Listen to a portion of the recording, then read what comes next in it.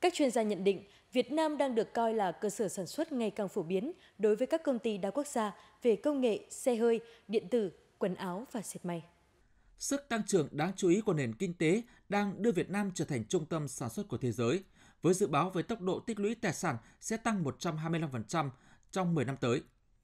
Với tốc độ phát triển này, không chỉ tăng trưởng tổng sản phẩm quốc nội GDP bình quân đầu người của Việt Nam sẽ ở mức cao, cùng với việc củng cố vị thế là điểm đến hàng đầu cho các nhà đầu tư quốc tế. Để đón đầu các cơ hội đầu tư, các chuyên gia kinh tế cũng khuyến nghị Việt Nam cần tăng cường đào tạo lực lượng lao động để đáp ứng nhu cầu của các hoạt động sản xuất,